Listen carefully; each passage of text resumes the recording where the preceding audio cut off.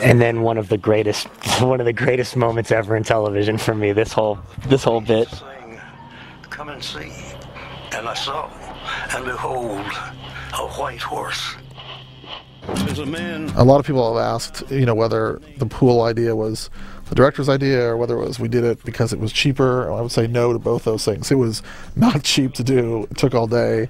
It was something that we we wrote into the script in the writers' room and to the absolutely to the fault, smallest detail. It was um, Josh and I are both really f- big fans of Rescue Me, also, and he was saying that the cool thing about that is that each of those fires in the episodes has its own theme and its own sort of motif, which is what Terminator fights should have to, to distinguish them. Is they shouldn't just all be a you know a general Terminator fight. Like, what's the concept of this Terminator fight? yeah.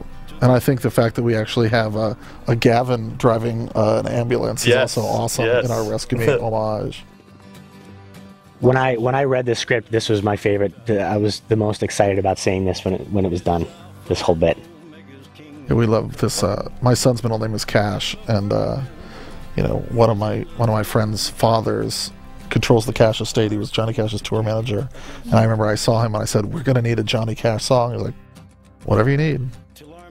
But uh, there were people uh, who did not want us to use the song, and when they first saw it cut in, they didn't like it. They thought it was too up tempo and it's so uh, good you know counter to what this should be. that shot was great Totally cool.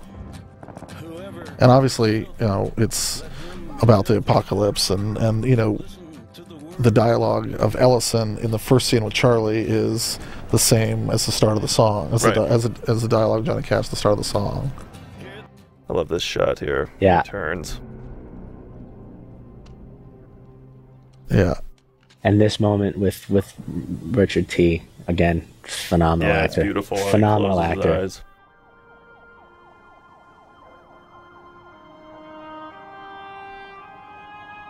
that might be my favorite sh- like ten seconds of film.